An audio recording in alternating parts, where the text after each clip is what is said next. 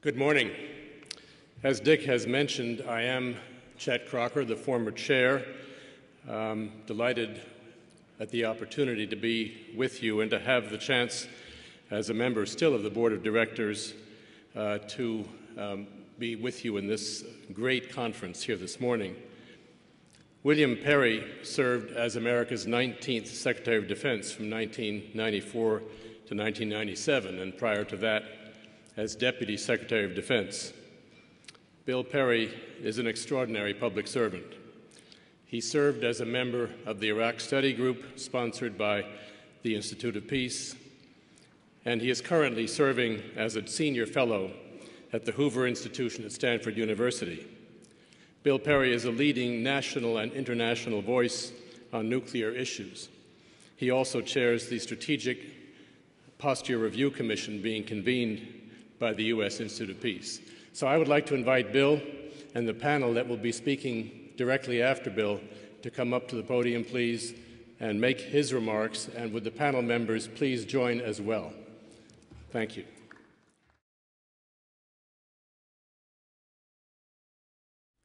In many countries of the world, the transfer of power is occasioned by mob violence or army takeovers. So I find it inspiring that the transfer of power in our great democracy can be symbolized by passing the baton. Please join me in a big round of applause for the United States Institute for Peace for organizing this session on passing the baton. Dick, Robin.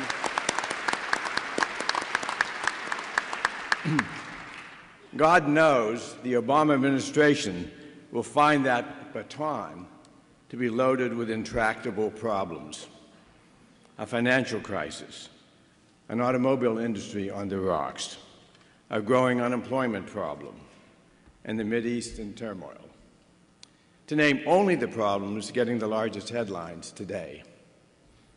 But I'm going to focus my comments on the growing nuclear danger, which does not receive headlines which I believe is the gravest security problem facing the United States.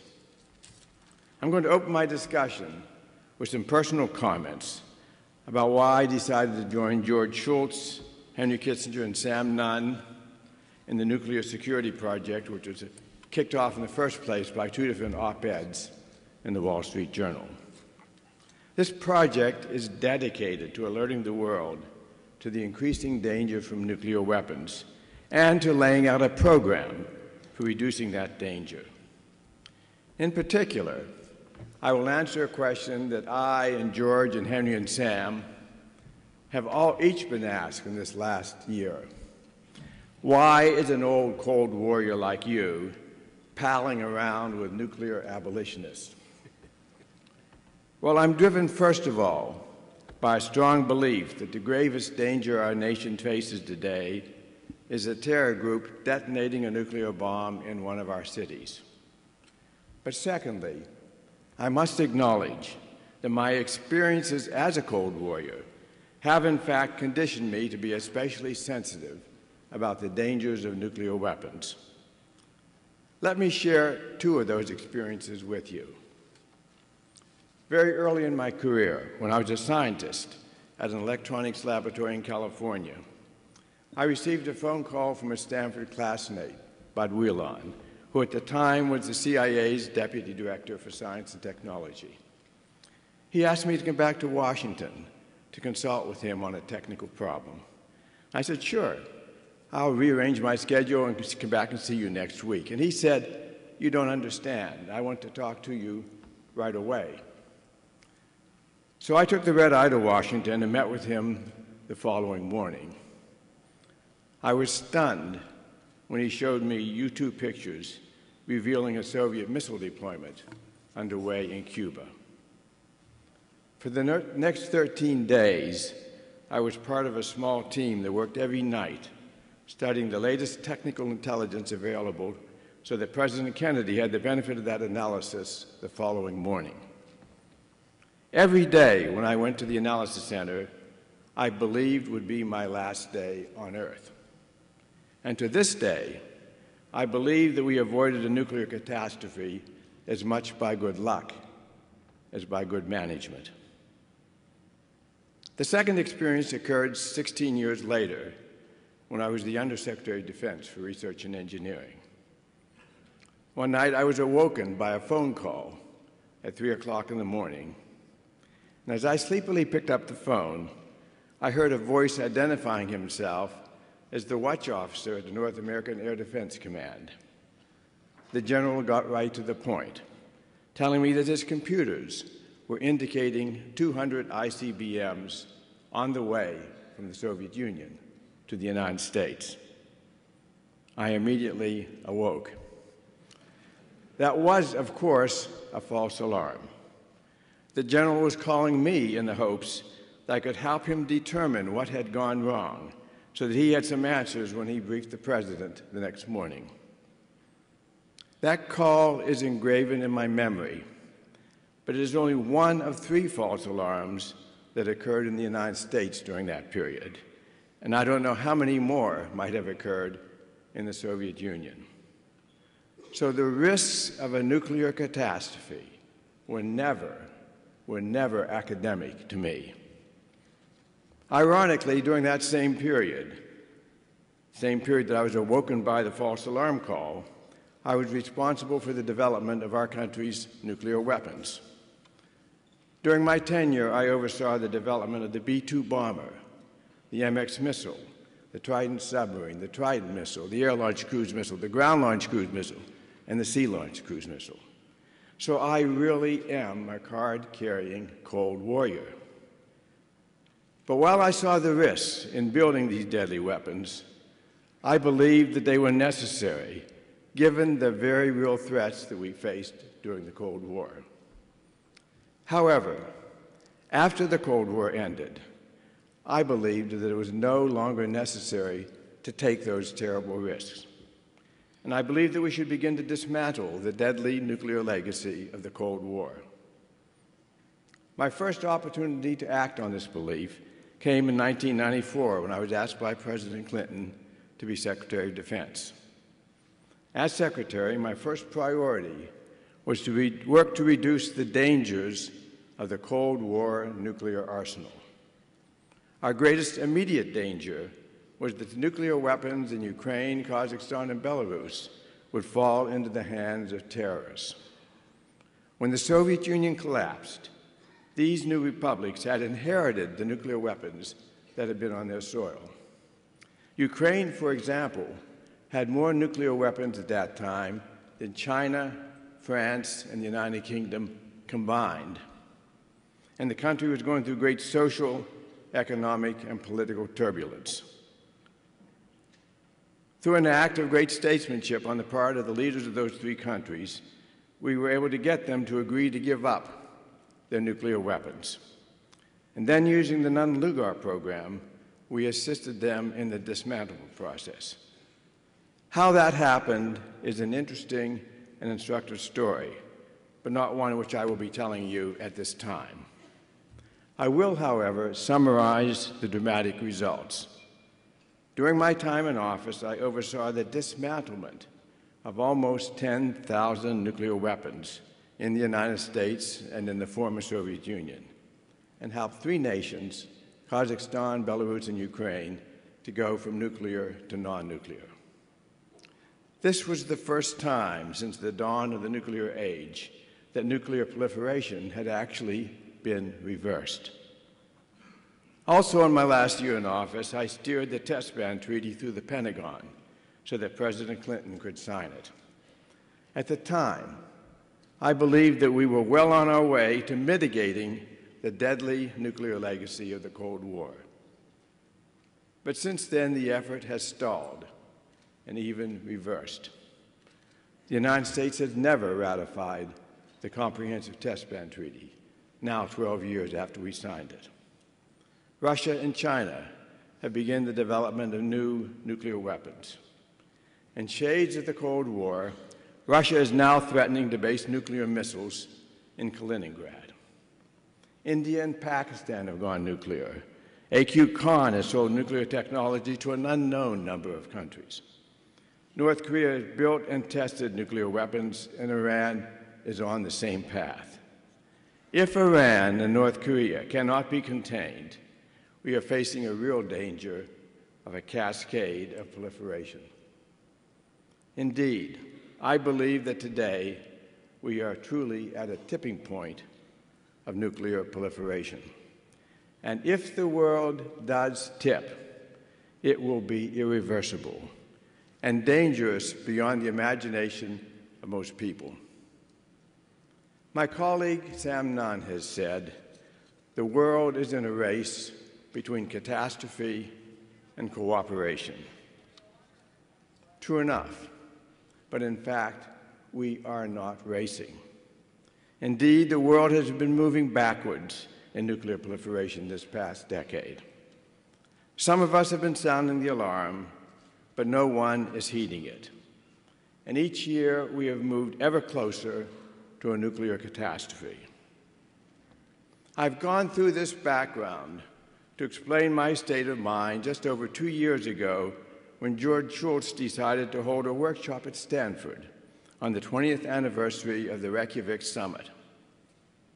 At the end of that workshop, we concluded that we ought to revive the idea that Reagan and Gorbachev had discussed at that meeting, namely starting to, to move towards the elimination of nuclear weapons. We believed that some really dramatic position was needed to stop this terrible drift to a nuclear catastrophe. And there followed two op eds by the four of us in January of 07 and January of 08. Since then, we have finished visited leaders and former leaders all around the world to rally support. London in February of 08, Delhi and Shanghai in October, Moscow in December, and this year we are scheduling additional meetings. To be sure, these unofficial or track two efforts have stirred a global discussion on the issue. But in fact, no real actions will happen unless the governments begin to take it seriously. And that will not happen, I believe, until the American government takes a strong leadership position. President elect Obama took a strong position on this issue during his campaign when he said, quote, it is time to send a clear message. America seeks a world with no nuclear weapons. But as long as nuclear weapons exist, we must retain a strong deterrent. I am wholly in accord with both of those positions. And I believe that there are specific actions that President Obama can take to move us in the direction of a world with no nuclear weapons. He could use the bully pulpit of the presidency to awaken the world to the incredible danger of nuclear weapons. And I believe that President Obama would be especially effective in that role.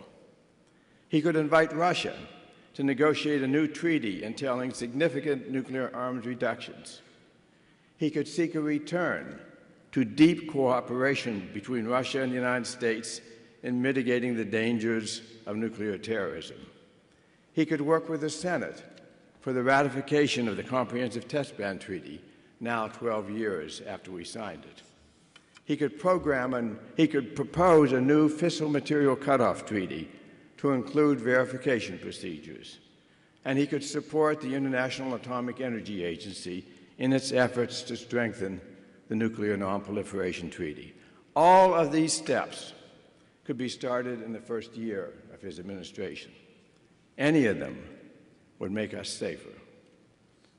Harder to do, but even more important, he must deal effectively with North Korea and Iran's nuclear weapons program. I believe that North Korea's production of plutonium and subsequent nuclear test to be the most dangerous development since the end of the Cold War. But I also believe it still can be dealt with with diplomacy.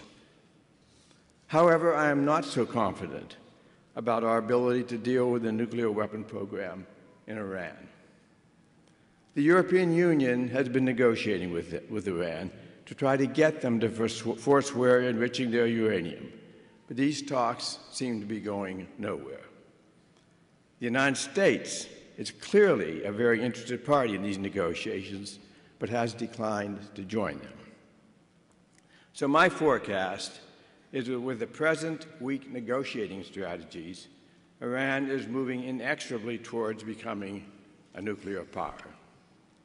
And it seems clear that Israel will not sit by idly while Iran takes the final steps towards becoming a nuclear power. As a result, President Obama will almost certainly face a serious crisis with Iran. Indeed, I believe that the crisis point will be reached in his first year in office. So, on the nuclear front, President Obama will face a daunting set of problems, none of which can be solved unilaterally. And I don't need to tell you how difficult it will be to get the needed international cooperation. Our relations with Russia, for example, are at an all time low. My recent visit to Russia verified just how low, but it also offered some hope the United States Russian relations can take a positive turn with the new administration. Although I must say, this is a hope, not a certainty. I would sum up my feelings about our nuclear security project after two years of effort as follows. Based on the global responses we have gotten to date, I am encouraged to believe that we are on a positive track. More than a century ago, Victor Hugo wrote, More powerful than the tread of mighty armies is an idea whose time has come. I believe that containing the deadly nuclear legacy of the Cold War is an idea whose time has finally come. But I also believe that it will take decades to achieve the final goals of that project and much hard work. And that long time scale has two ramifications. First, until we approach that goal, nuclear powers will still feel obliged to maintain an appropriate level of deterrence forces, and those forces must be constituted to have acceptable levels of reliability, safety, and security. I am chairing a congressional commission that is examining what actions the United States should take to maintain our deterrence forces without signaling to other nations that we are trying to rebuild those forces. Our interim report was sent to the Congress last month, and our final recommendations will go to the new Congress and the new administration in a few months. The good news in our interim report is that the Stockpile Stewardship Program and the life extension programs carried on by the nuclear laboratories have been outstanding successes, and our nuclear weapons capability remains robust. The bad news is that support seems to be wavering for those programs and for the scientists who make them possible.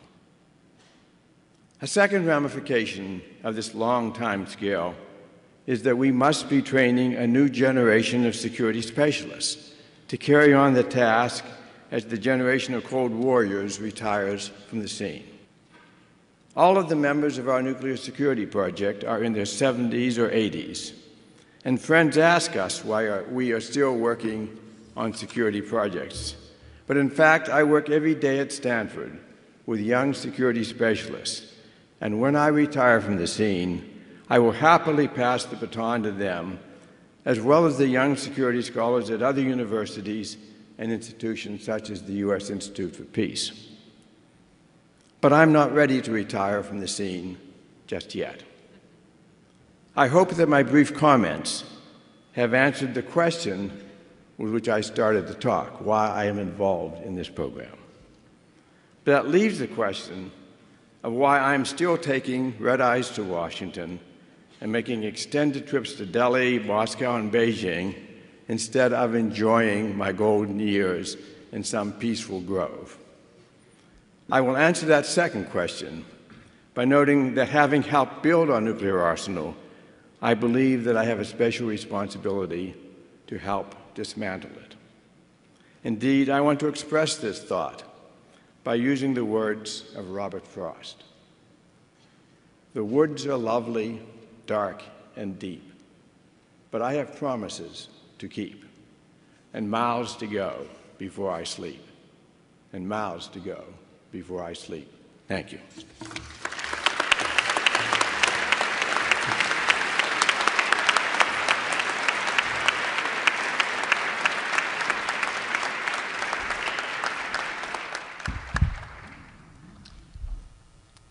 Bill, we thank you very much for those inspiring and uplifting words.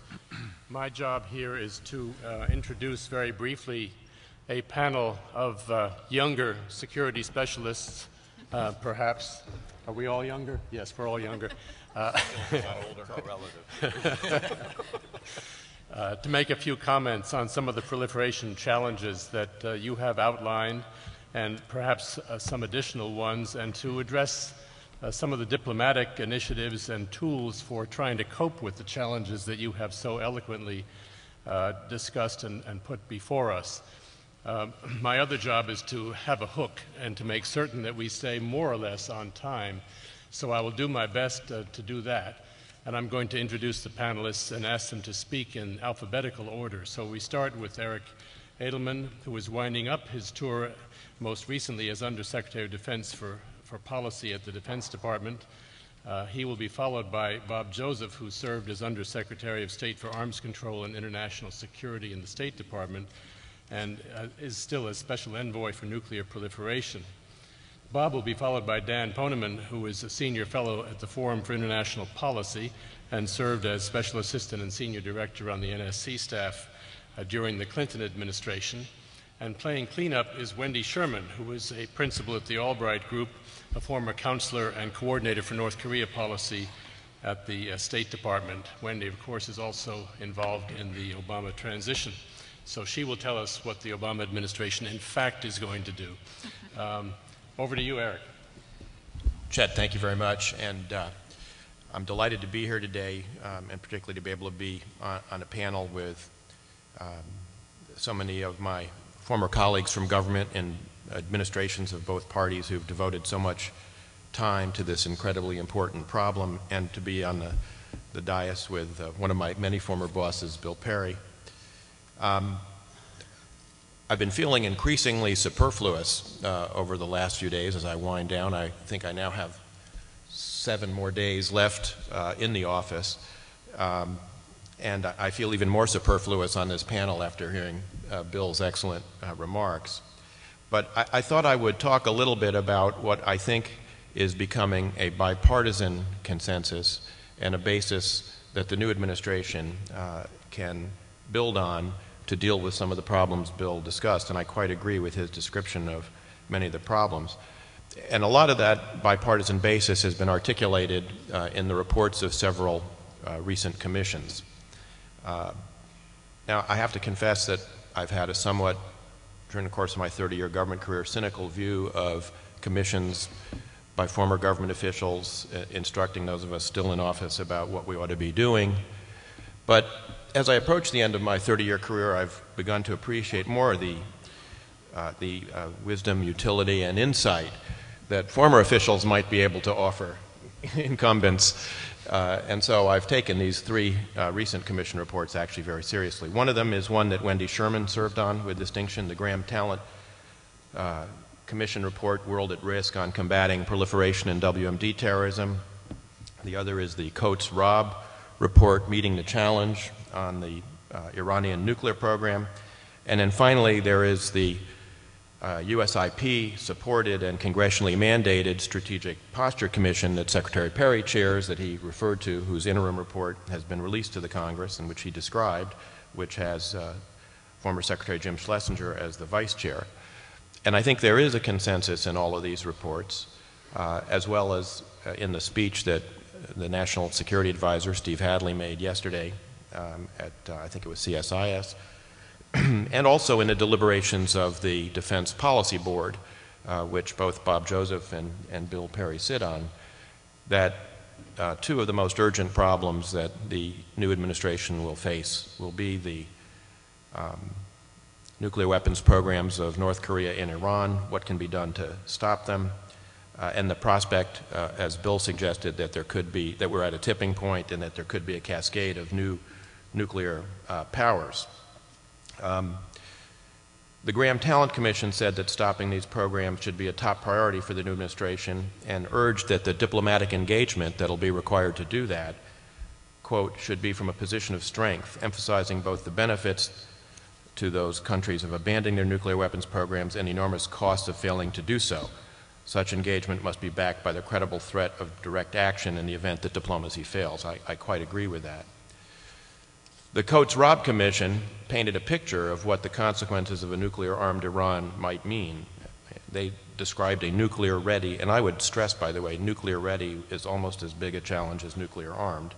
Islamic Republic, ruled by the clerical regime, could threaten the Persian Gulf region and its vast energy resources, spark nuclear proliferation throughout the Middle East, inject additional volatility into global energy markets, embolden extremists in the region, and destabilize states such as Saudi Arabia and others provide nuclear technology to radical regimes and terrorists, seek to make good on its threats to eradicate Israel. The threat posed by the Islamic Republic is not only direct Iranian action, but also aggression by proxy. Iran remains the world's most active sponsor, uh, state sponsor of terrorism, proving its reach from Buenos Aires to Baghdad. The prospect of a highly proliferated Middle East or a highly proliferated Northeast Asia obviously would be very uh, troublesome and very difficult. Uh, although uh, when I first came into government from academia, there was a school of thought in the academic world that more nuclear powers could be a stabilizing thing. Uh, Kenneth Waltz wrote a famous piece for IISS about more is better. Um, and I know there was an article that appeared in the American Political Science Review when I was in graduate school suggesting a nuclear Middle East could be more stable. It would have the kind of stability that the bipolar nuclear balance uh, had uh, provided uh, during the Cold War. I can tell you now that closing out 30 years in government, I've never met one single practitioner who ever believed that or ever acted as if they believed that. Uh, I think the, the dangers uh, that we would face uh, would be obviously immense. Several new incipient nuclear powers uh, with uh, rudimentary programs uh, would pose, I think, a kind of problem that uh, nuclear strategists in this country first discovered in the early days of nuclear weapons in the 40s and 50s, which is that those programs are extremely vulnerable, which would give all of the countries uh, with those weapons, whether it's Northeast Asia or Middle East, but particularly in the Middle East, uh, incentives to preempt. And by the way, it would give the United States, I think, incentives to preempt as well. So we don't understand very well how a multiplayer game would work. Um, I don't think all is lost. I agree with Bill that um, diplomacy can be successful, but it will require us to rivet the attention of the international community uh, more effectively than we have on the challenges that Bill described and that I've just tried to describe about what we might face in the future and to use more effectively economic tools that both uh, North Korea and Iran have been subject to and which have gotten their attention, which is uh, basically the, the, tools that our colleagues in the Treasury Department have been deploying uh, with regard to financial sanctions. So uh, let me stop there because I want to be mindful of, of Chet's uh, hook. Um, I'm about to get the hook in government. I don't want to do it on this panel in public, but I, I, will be happy to address some of the other issues in, in concert with my fellow panelists and in questions. Thank you, Eric, and thank you very much for respecting the hook and for reminding us that occasionally, theoretically, academics can be wrong. Uh, but that's not in practice, just in theory. Bob, uh, over to you. Thank you, thank you very much. Uh, Dr. Perry, it's uh, great to see you again. It's, it, it is an honor for me to serve on your panel.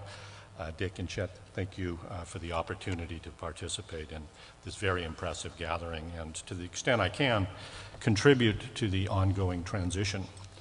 I was very much involved in the transition eight years ago and am a veteran of many previous ones. And having been on both sides, incoming and outgoing, I can say that it is certainly better to be on the incoming team However, I can also say without any reservation and based on very recent experience that there are real advantages to not being on either side this time around.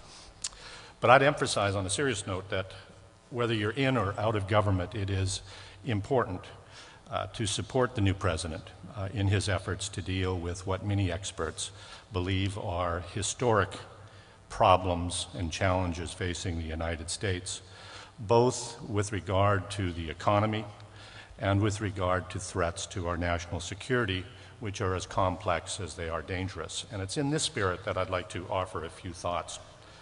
I've been asked to talk about the U.S. Russian relationship, uh, particularly uh, as uh, that relationship affects areas of nuclear policy and proliferation. And given the time limit, I can uh, only touch on a few points, so I will be selective and probably risk oversimplification. But we'll try to give a flavor of where I see the relationship today and the alternative paths that that relationship might take. To some extent, what we do will shape Russia's perceptions and policy choices.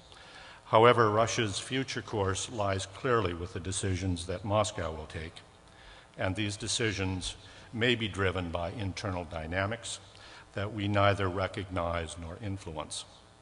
Let me begin with what I see as the fundamentals I believe that there clearly are both challenges and opportunities for cooperation in our bilateral relationship in these areas. But the starting point is Russia's view of the world and of the United States.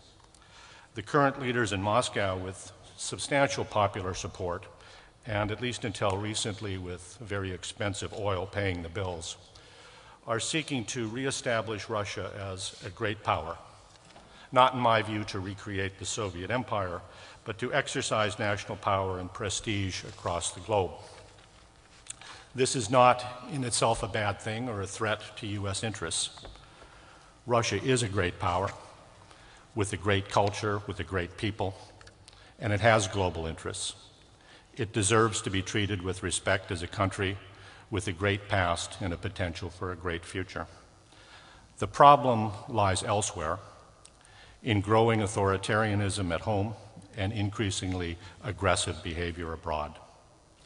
Specifically, Russian leaders say publicly that the United States is the number one threat, seeing us as the principal source of their national humiliation in the 1990s and perhaps the greatest impediment to their goals. They seem to view interactions with the United States from a zero sum perspective. If we win, they lose, if they win, we lose. And I don't believe that this calculus will change with the change in the White House. With this as background, let me just then turn to uh, several of the more prominent challenges and opportunities. First, the challenges. Uh, many believe that Moscow already has begun to test the incoming administration, its resolve and its mettle. The timing of the Kremlin statements on rejecting the third missile defense site in Europe is not an accident coming on the heels of the invasion of Georgia, threatening U.S. allies who have agreed to host the radar and the interceptors is a direct challenge to the United States. On missile defense, the issue for Moscow, at least I believe, is more about moving even a small number of U.S. forces east than about undermining Russia's strategic deterrent. It is also going back to the zero sum analogy how Moscow sees its opportunity to win at U.S. expense. For us, this is about a real emerging missile threat from Iran, something that few dispute. For Russia, it is about having the U.S. abandon a capability that is intended to serve the purpose of ensuring the indivisibility of our security commitments to friends and allies. Pressuring U.S. friends and allies is part of it, something that has happened repeatedly. And if the, UN, if the U.S. gives in, Russia will pocket the concession and move on, I believe taking away the wrong lesson. My sense is that we must resist the temptation of a grand gesture to Moscow, perhaps in the context of an offensive arms control treaty that Moscow very much wants, independent of the, of the missile defense issue. To abandon missile defense in the face of Russian pressure would only whet the appetite for other concessions and raise questions about the credibility of the U.S. extended deterrent. Working with Russia on Iran is another major challenge and has been for the past five years. I am convinced that Moscow does not want a nuclear armed Iran. At the same time, it sees itself as having important strategic and commercial interests with Iran. These interests, and to some extent the desire to deny the United States a diplomatic victory, have motivated Moscow to use its position in the P5 plus one dialogue and in the UN Security Council to block any truly effective sanctions on the regime in Tehran. While the Bush administration has, has sought through very creative means, such as in the field of international finances, to work with other willing countries to impose costs on Iran, consistent with but outside of UN Security Council resolution, resolutions, these measures have not been effective in imposing the type of costs that compel or convince Tehran to change course on its nuclear program. My assessment is that without direct and intrusive sanctions imposed through the Security Council, Iran will continue to expand its enrichment program. And this, of course, takes Russian agreement. I hope the new team will find a way to achieve this outcome before Iran acquires the nuclear weapons capability it seeks. Today, we are losing that race, and if we fail on Iran, we fail big time on our broader nonproliferation policies and posture. Let me move quickly to areas of cooperation, of which two stand out as vitally important. First, working together on combating nuclear terrorism, and second, working to ensure that the expansion of nuclear energy is done in a way that best reduces the risks of proliferation. Although we have a very long way to go, I think progress in the area of combating nuclear terrorism has been substantial. It is reflected in years of joint work in the context of Nunn-Lugar and other DOE and state prevention programs. More directly and more recently, it has resulted from the joint leadership of the U.S. and Russian Global Initiative to Combat Nuclear Terrorism, first announced by Presidents Bush and Putin in 2006. This effort, built on the PSI model, now has the involvement of over 70 countries around the world and encompasses a broad spectrum of actions from prevention to protection to response, including in the areas of detection and consequence management. And Russia has been a very good partner and I know that it wants to continue this work. I'm also confident the new administration will do likewise, as both President uh, elect Obama, uh, like President Bush, uh, has indicated that nuclear terrorism is the preeminent threat that we face as a nation. I know Dan will talk about nuclear energy, so I will just say that in 2007, the U.S. and Russia announced a second joint initiative, an initiative that is designed to discourage the spread of enrichment and reprocessing technologies while allowing for the expansion and facilitating the expansion of nuclear energy. The withdrawal of the 123 agreement as a consequence of Russia's actions in Georgia uh, does uh, present a setback, but I still believe that this is an area that could be very productive for U.S. Russian cooperation. And you'll note that both of these initiatives, both in the nuclear terrorism area and the nuclear energy area. Uh, provide for cooperation where our interests intersect, where we both believe that our national interests are critically involved. And it's on this basis that, that I think we can build confidence over time uh, across other areas and produce something that I know is all of our goal, and that is a better, normal, and lasting relationship with Russia that serves the interests of both of our countries. Let me stop there. Thank you, Chuck. Thank you, Thank you. Chet. Uh, thank you, Secretary Perry and Dick Solomon and the Institute of Peace. This is a, a terrific uh, opportunity to uh, emphasize the continuity and the in interest of uh, promoting nuclear stability around the world, and I'm delighted to participate. Secretary Perry uh, and uh, Bob and Eric were very eloquent in talking about a nuclear tipping point. this is, I think we all agree, a real threat, even now. And I want to drill down on that issue but I'd like to talk for a moment about a different tipping point. This is not often done in uh, Washington where climate issues tend to be stovepiped from uh, nuclear weapons issues, but uh, as we say, we're no longer calling them stovepipes, they're really cylinders of excellence. So, uh, a report by NASA last month indicated that 2 trillion tons of land ice in Greenland the Arctic, Antarctica, and Alaska have melted since 2003. And NASA scientists concluded that the Earth is edging extremely close to the tipping point of climate change, at which point the oceans will rise, jungles will become deserts, deserts will become jungles, and uh, life as we know it will be unalterably, potentially catastrophically changed. Now, an MIT study in 2003 said that if we wish to make a dent in greenhouse gas emissions that could possibly avert this catastrophe, we would need a substantial expansion of nuclear energy on the order of a tripling of the existing fleet of about 400 reactors, in other words, about 1,000 gigawatts of nuclear power by mid century, simply to keep nuclear as 16% of global electricity supplies. Regardless of what the United States decides, and I don't think it's clear what we will do on nuclear energy, the world is proceeding on that premise. Today, 36 reactors are being built in 12 countries. Each of these reactors needs fuel. The processes to produce the fuel for nuclear reactors, as I think everyone here knows, can also be used to create nuclear weapons. The spent fuel that comes out of the reactors can also be used to create nuclear weapons from plutonium. If the expansion of nuclear power is accompanied in a linear fashion by an expansion of plants that will produce enriched uranium and plutonium, we will exponentially increase the risk of nuclear terrorism that I agree with Secretary Perry is the gravest risk we all face.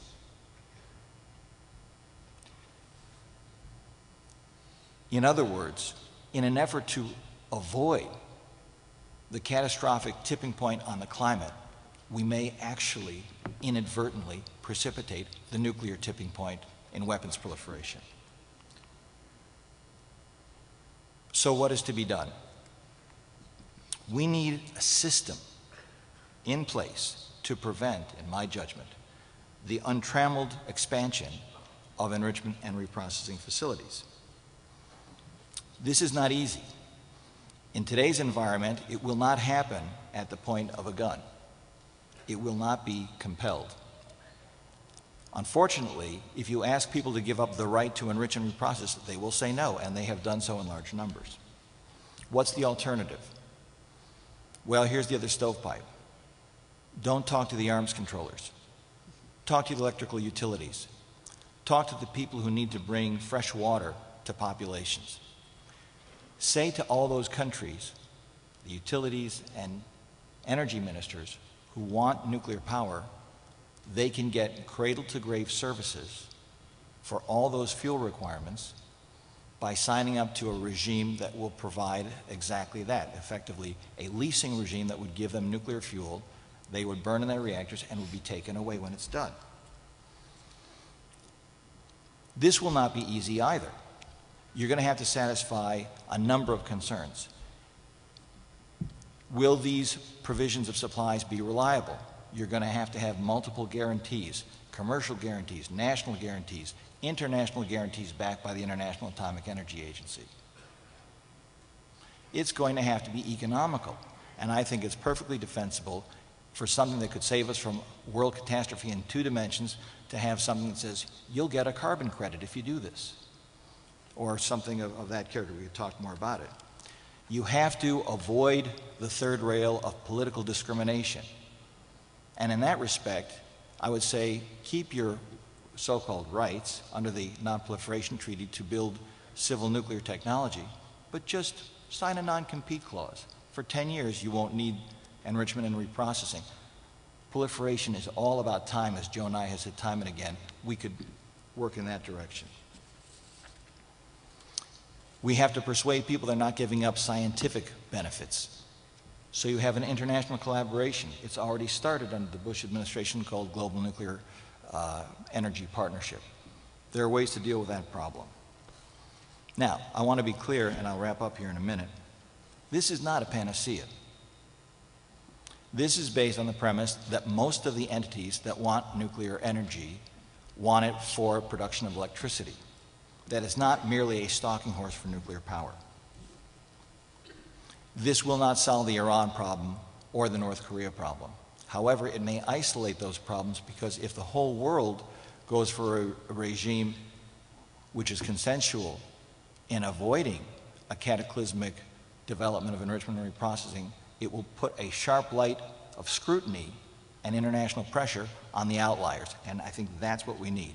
My final point not only for me on the panel, but for us collectively, time is of the essence. If we don't fix this problem soon, the facilities will get built and it will be too late. So I would close in citing the eloquent words that Bill Perry cited of uh, one of his predecessors. We do have a choice between catastrophe and cooperation, and I hope we choose the latter. Thank you. Thank you, Dan. Wendy, the floor is yours. Thank you. Uh, first, thank you to USIP. Uh, I join everyone up here, and I'm sure the audience as well, in celebrating 25 years of peace building, and thank you, Dick, for including me this morning. Uh, I also want to thank Bill Perry. One of the great honors in my life was when then Secretary of State Madeleine Albright asked me as counselor to work with Bill Perry on North Korea, and uh, it was a very tough and remains a very tough problem but it was a singular joy uh, to get to know Dr. Perry, and he is definitely one of my heroes. Uh, third, I'm really here in my own capacity today. The substantive work of the transition is complete. Uh, I am no longer a transition official, otherwise, I wouldn't be here this morning. Uh, and if anything, I'm here this morning speaking as a commissioner of the study that Eric mentioned, World at Risk, uh, which was chaired by former Senator Bob Graham and former Senator Jim Talent, and is about the prevention of weapons of mass destruction, proliferation, and terrorism. Uh, as part of that review, uh, we traveled to Moscow, to Vienna, to London. Uh, we were also on our way to Islamabad. Uh, we stopped down in Kuwait City, about to take the plane on to Islamabad only to have our Blackberries buzz endlessly, to look up at the television screen, which is ubiquitous in every airport, and to see the hotel that we were about to stay in in about eight hours uh, in uh, flames, uh, because we were on our way to the Marriott Hotel, and had we been eight hours earlier, we would have been standing in the lobby at the time of that explosion. Uh, if there is ever a way to remind you, as Bill described his own experiences, of reminding you of the risks and the terror that we all might face, uh, that was a reminder to all of us. That said, I actually believe we have an enormous opportunity, and the fact that a bipartisan commission came to such strong recommendations, many in support of the words that Dr. Perry laid out this morning, is a testament to the great opportunity that we do have here today. Uh, I think we have heard directly from the President-elect during the campaign, and I know we will hear from him in the days ahead about the importance of this issue. And as Eric mentioned, as Bob mentioned, uh, this is shared across party lines that the greatest threat uh, is the hands of a nuclear weapon, uh, of a nuclear weapon in the hands of a terrorist. And although that is probably not an enormous risk statistically, the results would be truly catastrophic. Uh, so what do we have ahead of us and what is this great opportunity? In 2009, the START Treaty expires uh, with uh, Russia. And uh, the Bush administration has begun that renegotiation. The Obama administration needs to carry it on and to use that as an opportunity to continue the tremendous cooperation we have had with Moscow in the past for cooperative threat reduction, uh, for the reduction of nuclear weapons in the world. Uh, although there are many stresses and strains in that relationship, this is an area of strong partnership and opportunity. Uh, second, in 2010, we have the NPT, the Nuclear Nonproliferation Treaty Review Conference. Uh, this will be a very tough go, a multilateral effort if there ever was one, a need for enormous leadership uh, from the White House, from the Department of State, from the Department of Defense, and everybody else we can think of track one and track two and three and four, uh, to really accomplish a number of recommendations that are made by the Commission. One, uh, that we look at imposing a range of penalties for NPT violations and withdrawal from the NPT that shifts to the burden on the state as opposed to the other way around. That we create access to a nuclear fuel cycle for everyone, for those who agree not to develop their own capabilities and are in full compliance with the NPT, which would help uh, in the area that Dan spoke of. Third, that we strengthen the International Atomic Energy Agency which is really struggling to do the job it has, and it has a much greater job to do in the future. That we continue to strengthen counterproliferation initiatives, both those that are part of treaties and regimes, and those like PSI, the Proliferation Security Initiative, and the Global Initiative to Combat Nuclear Terrorism that Bob mentioned. That we all commit to no new states, including Iran and North Korea, that must eliminate their nuclear weapons ambitions. Third, fifth, sixth, that we promote and maintain a moratorium on nuclear testing, and personally, I believe, move uh, towards the ratification of the CTBT. That we work together uh, for agreements uh, that will really make real uh, Resolution 1540. Uh, that we continue to work on cooperative threat reduction programs, and as has been articulated very eloquently by others on this panel, work with all of our might to get Iran to step back from the precipice that will truly be catastrophic, and they would get North Korea not only to disable but to dismantle its nuclear weapons capability and to get rid of its nuclear weapons. There is an enormous agenda ahead, but I believe that there is an enormous opportunity that is evidenced by the agreement that you hear, even though there are many areas in which we disagree up here on this panel. I want to caution us all, though, that the baton that is being passed today will not, with the Obama administration, instantly become a magic wand. Change is really coming, and it needs to. But it will take very, very hard work from everyone in the world to make real this opportunity. There are miles to go until we all sleep, and we don't want that sleep to come because of a nuclear nightmare. Thank you.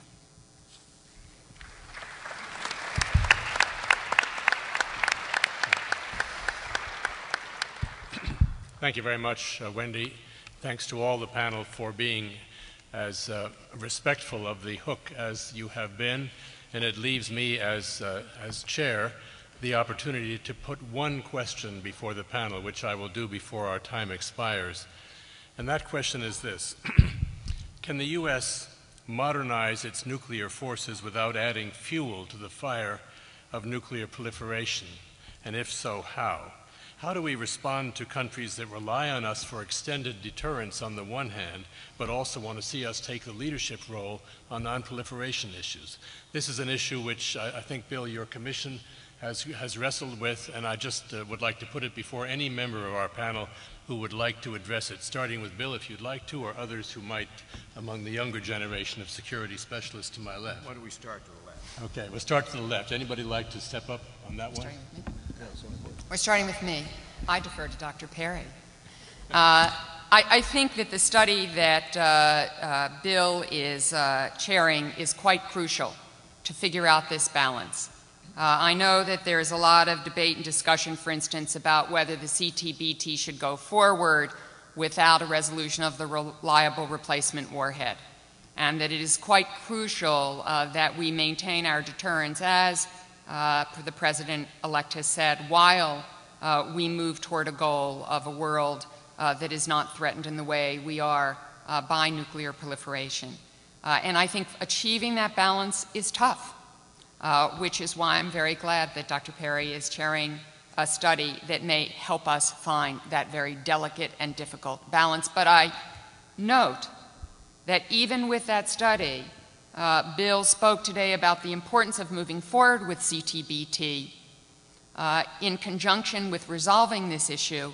Uh, and I think it is very important that uh, many people argue that CTBT should not go forward because it may not go into force. Not enough countries have ratified it. In fact, I think it is incumbent upon the United States to provide the leadership that moves us in that direction, that creates the norms that are so crucial for the vision that Bill outlined at the beginning of this panel. Chet, just briefly, I would recall when, uh, when we struggled in the earlier Clinton administration to extend the nuclear nonproliferation treaty, which, which would have expired, would have been lost had we not succeeded in that effort. A bipartisan report of the Council on Foreign Relations, chaired by Steve Hadley at the time, concluded that one of our most effective nonproliferation instruments was the reassurance the United States extended to its treaty allies in Europe and Japan. So I believe that reassurance remains fundamental to our nonproliferation strategy and why we don't worry about proliferation in dozens of countries that we used to worry about in the 60s if you read your history books. That having been said, I also agree with uh, uh, Secretary Perry and uh, Wendy Sherman with respect to the positive effect comprehensive test ban treaty could have on our nonproliferation efforts. And as uh, Dr. Perry uh, discussed in his uh, description of the, the Four Horsemen editorials, the role of reducing numbers of nuclear weapons as ipso facto nonproliferation. So, how do you. Just because Russia and China, and even our friends, the UK and France, are modernizing, but we need to modernize because nuclear weapons continue to play an important role in our defense and deterrent posture. Both our own deterrent in a very uncertain world involving new threats like North Korea and Iran, as well as uh, guaranteeing or, or, or providing a hedge against the future in other, in other situations. But also, and I think very critically so, as others have mentioned, in terms of the assurance, the assurance that's provided by extended deterrence. And if we don't maintain an effective and reliable and credible and safe nuclear posture over time. We will lose the confidence of our friends and allies. And if we do lose the, the confidence of our friends and allies in our nuclear deterrent umbrella, then they will be tempted, and I believe they will begin to pursue their own nuclear capabilities and result, perhaps, in that cascade that others have spoken about. Thank you. I guess it's, it's left for me to be on the very far right. So, um, I, first, I agree with most of what our colleagues on the panel have said. I, I, would actually rephrase the question, Chet. I don't think it's a question of can we modernize and, and also do what we have to do to uh, move forward as, with the difficult task that Wendy described at the NPT RevCon. I, I don't think it's a question of can we, it's we have to. I, I don't think we have any alternative. Uh, in particular, because uh, as I mentioned, the near nuclear uh, Iran is almost as big a challenge for us as one that has actually tested a nuclear weapon, particularly with the rapid development of their ballistic missile program. The uh, ability that that program will uh, play as a stand in for a tested nuclear weapon in their ability to coerce or compel uh, allies in the region and beyond to do things uh, will be a huge challenge for the next administration. So I think we absolutely need uh, to have, as the um, uh, Perry Commission has said, a, a safe, secure, and credible nuclear stockpile in order to underpin our, our deterrent whether you believe in zero or not, everybody, I think, agrees that you must have a capable nuclear deterrent to get to zero. Uh, and so there's no real dispute, I don't think, about that. Uh, I would also just add one other point, which is I think we have to, in the extended deterrence realm, think not only of the nuclear weapons, which will be a part of that equation, and there will be a tension between the desire to um, go down in numbers, and I think I, I, don't want to speak for other members of the panel. I would say probably most of us believe we can go down from the 1700 to 2200 range in the Moscow Treaty, um, but I think. Uh, there will be a tension between how far you go down and your ability to, to uh, make the nuclear umbrella credible to allies in Northeast Asia and in the Middle East. And we need to be thinking about conventional capabilities as well, in particular uh, regional ballistic missile defense, which our colleagues at CENTCOM have been engaged in uh, in, a, in a very serious way. Uh, and which we've been engaged in with our allies in Japan in a very serious way over the last few years, that will also be an incredibly important part of this equation. Thank you. Bill, how did the younger generation do? Well, as I said in my talk, I believe that we will be have to maintain deterrence for the foreseeable future, and that means we'll have to have some form of modernization of this force.